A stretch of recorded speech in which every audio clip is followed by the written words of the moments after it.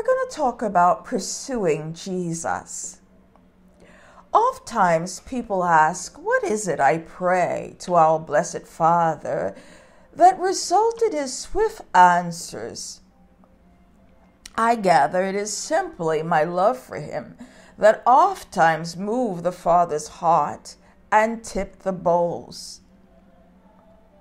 If I may, I would like to share what I have discovered over the course of a few years when I spent night and day resting at the feet of our Lord Jesus. Thy Lord most desire us to spend time with him. And as often he's kept me in his presence to protect me.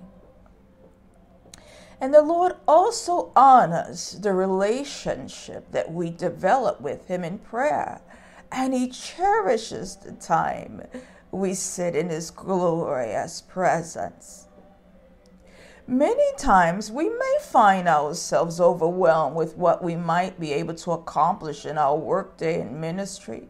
I understand.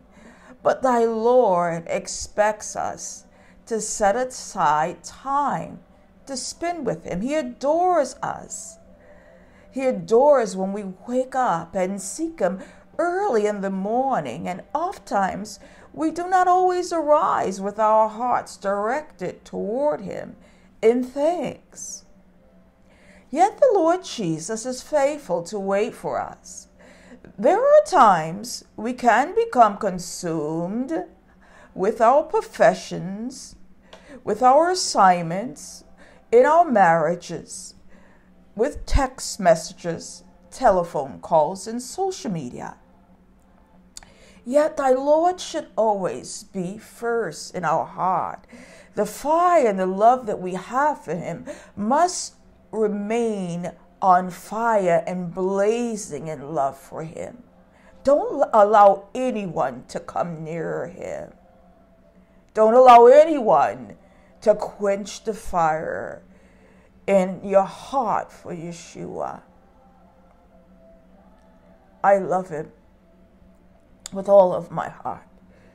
Don't allow anyone to come close to him. The Lord should be the first we speak to every morning in our hearts. Our eyes should behold his glory.